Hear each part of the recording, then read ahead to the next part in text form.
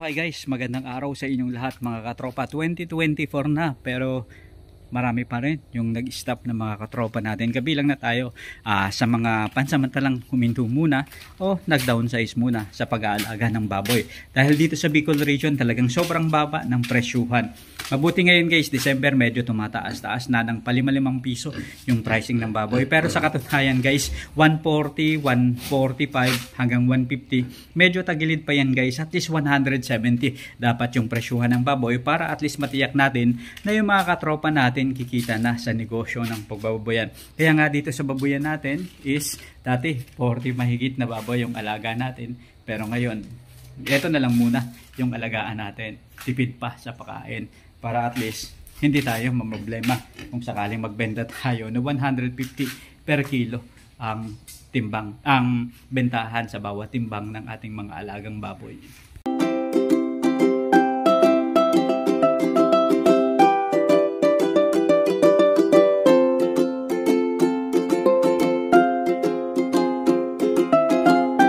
na guys, 2024. Ayan, so hoping tayo, uh, nag-iisip tayo na sana gumanda yung presyuhan kaya nga December ngayon. So nag start na tayong maglinis. Pinalabas na natin guys yung mga gamit. Uh, baka sakaling makapag-start na rin tayo since may sinimulan na tayo na isa na namang ano, isa na namang piglets. So marami na namang aabangan yung mga katropa natin guys. Ayan. So ito guys, by the way, hindi natin pinapakain ng purong feeds. Uh, pinapakain lang natin is ata. Tapos may konting feeds na pakunti-kunti. Ito na, tanong, magkano nga pa ang possible na pwede natin gastusin sa pag-aalaga ng baboy ngayong 2024? Ito na guys, um, isa sa mga dinalaw natin na farm is yung farm ng katropa natin dyan sa pinaglabanan. So model family pagdating sa baboyan, maganda yung resulta yung alagang baboy na nakita natin. So, tinanong natin ano bang kinamit nila. Sabi nila, ultra pack. Ito nga, kinuha ko yung sako guys. Actually, itong sako na to pinaglagyan nila ng buko na binigay sa akin.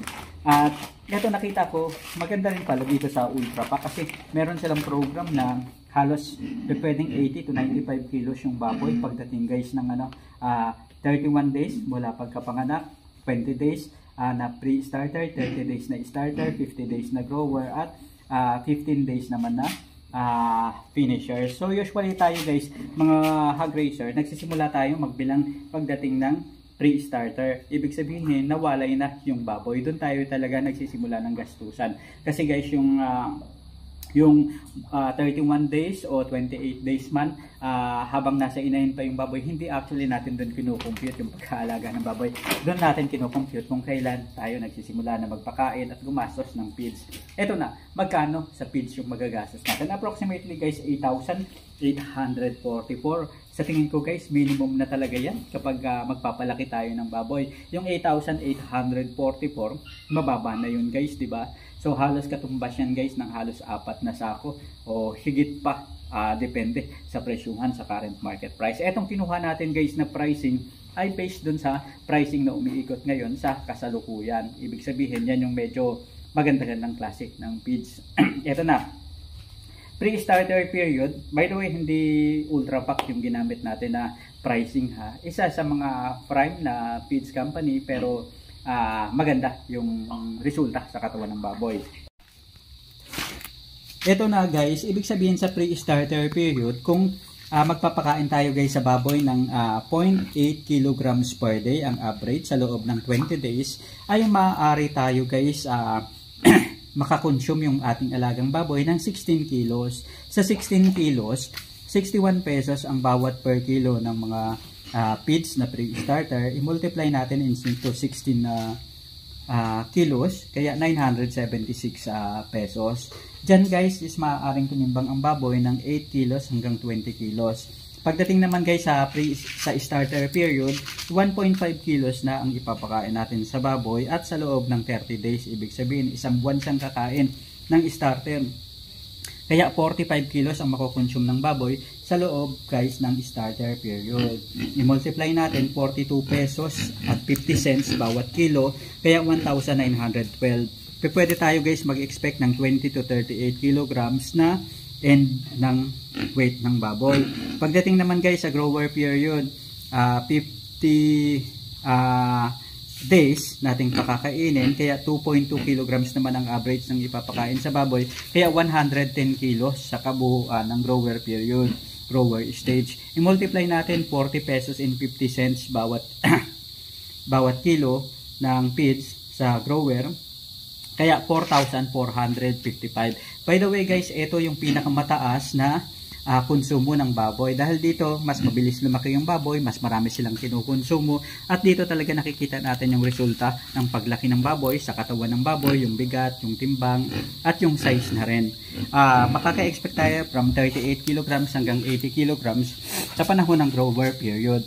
Kapag finisher period naman guys, 80 to 95 kilos ang ine-expect natin o pwede pang umabot ng 100 kilos. Depende na lang sa uri ng pagpapakain natin. Pero usually ang finisher period naglalas lang ng mga 2 weeks o 15 days o hanggang 17 days. Depende sa kung paano nyo pa gustong lumaki yung inyong alagang baboy. 2.5 kilograms guys ang per day intake average. I-multiply natin into 15 days kaya 38 kilograms ang makukonsumo nila. I-multiply natin into 39 pesos and 50 cents, kaya 1,501.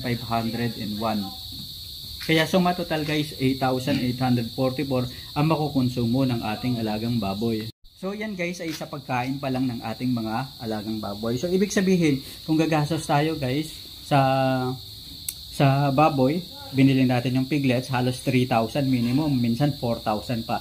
Ipagpalagay na lang 4,000. So 4,000 plus 8,000 800. So, halos 12,800. So, suma total guys, mga 13 mil na. Wala pa yung uh, wala pa yung mga bakuna, vaccine, wala pa yung labor cost, wala pa yung mga ilaw, wala pa yung mga tubig. So, suma total, halos ganun yung uh, makukonsumo guys ng uh, baboy na pakain. So, 8,000 plus 4,000. So, 12,800. Tapos, pepresyohan guys ng uh, uh, 130 per kilo, 120 per kilo ang live weight ng baboy. Medyo alanganin yon. Kaya kailangan guys kapag mag-aalaga tayo ng baboy, tiyakin natin na yung pricing sa ating market o sa lugar natin is lalampas guys ng 170 per kilo para at least matiyak natin nakikita tayo. So maraming salamat mga katropa hanggang sa muli. Paalam. Ayun. Dami ano. Ayun pa lang ha. Ano yung tilapia? Sarap. Ayan si Kuya Ray. Ano ko? Tato. Sino nagluto bro? Bro, Fred Mark. Ah si Fred Mark pala yung nagluto. Ano? Tikman. Ayan, sarap to. So, pitik na tayo. Hmm. Sarap. Hmm. Talaga naman. Ayun. Said. Ayun. Ang sarap oh. Talaga naman. Ito yung kusinero. Ayun si ano. Ano pa no, box office ano. Talagang sulit na sulit. Ayun si ano. Ayun. Mamaya Talaga din naman. balik ka. Oo. May Kasi ano. meron dyan ano eh. Yung rabot, rabot ng baka. Ah, masarap yun ano. Ayun.